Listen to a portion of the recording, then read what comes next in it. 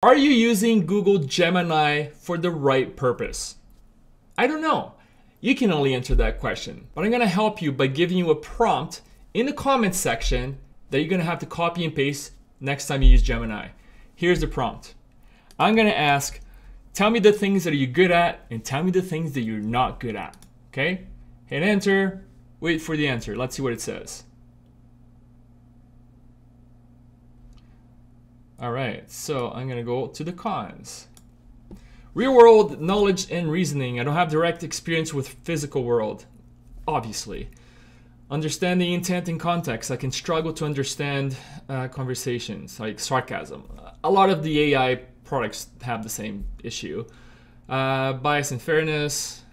Well, Google's been in the news recently for their uh, issues with bias, so we're gonna leave that one alone. Uh, independent thought and creativity. While I can generate creative text, I can't develop truly original ideas or concepts of my own. I get it. But what it's not telling me is I can't help you with real time stuff. I can't read emails, or sorry, I can't read websites. Because Gemini is one of the best free AIs that you can use for current stuff.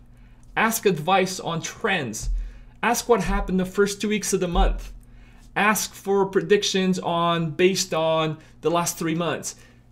Gemini can interpret that and give you some real good advice that you can build your content from. But one of the most used AI platforms out there that everybody uses is outdated. Can't do that kind of stuff. I cover this in another video. Go check out the other videos in my series. But uh, if you're using ChatGPT for advice, you might be leaving money on the table. Go check it out.